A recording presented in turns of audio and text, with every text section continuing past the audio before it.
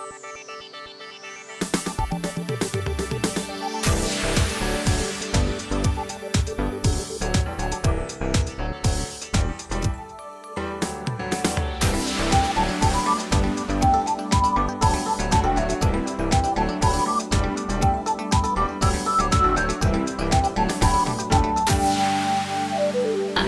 we're in the, the Facebook Live Cube here at the Move the Dial Summit at Roy Thomson Hall. I'm with Maria Norberg. She has joined us all the way from Stockholm, Sweden. yeah. Far, far away. So can you tell us a little bit about the work that you've been doing?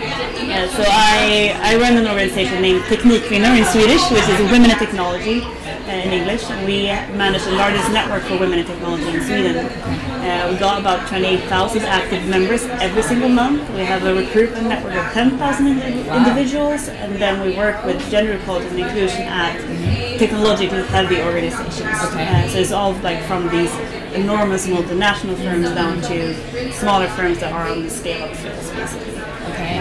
and bringing all the different perspectives in. So then are you looking at sort of what organizations need at every growth stage? Like are you parsing it out by like sort of scale up startup enterprise or, or how do you sort of break it down?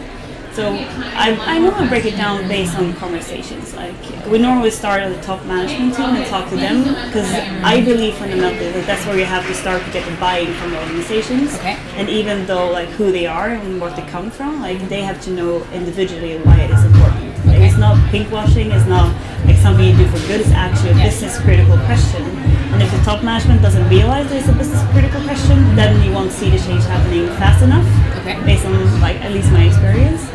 Uh, and then you have like we build networks within the organizations with ambassadors that will drive the question of gender equality and help change the culture and understand the culture. And then you get the top down and then the bottom up.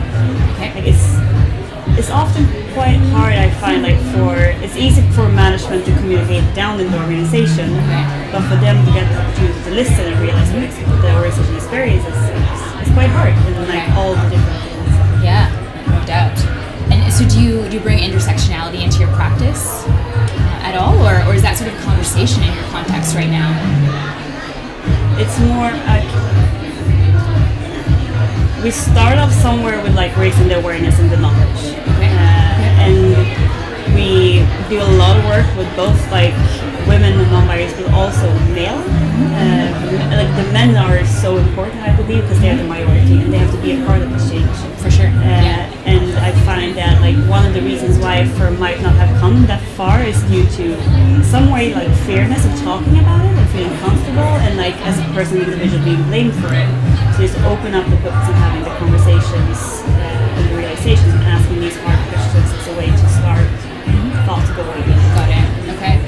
And what would you say, like, what's been the biggest sort of learning that you've, or I'm sure there's been plenty, but what's one of the sort of most standout pieces that you've really, you know, actualized in the last few years of the work?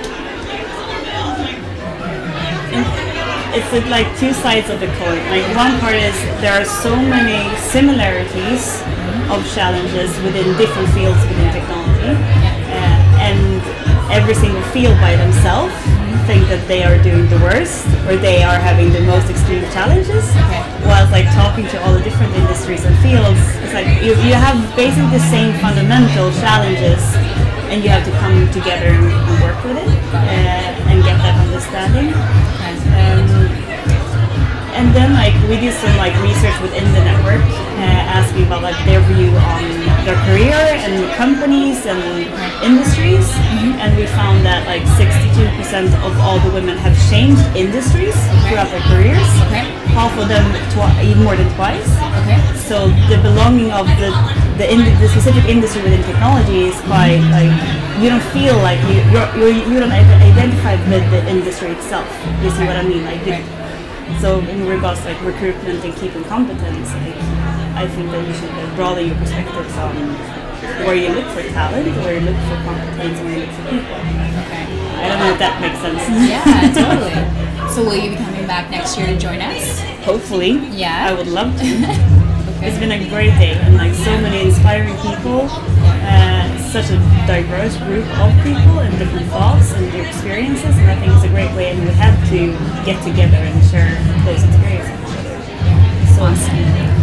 So that's been Maria Norberg uh, joining us from the Facebook Live Cube at the Mobile Summit 2019.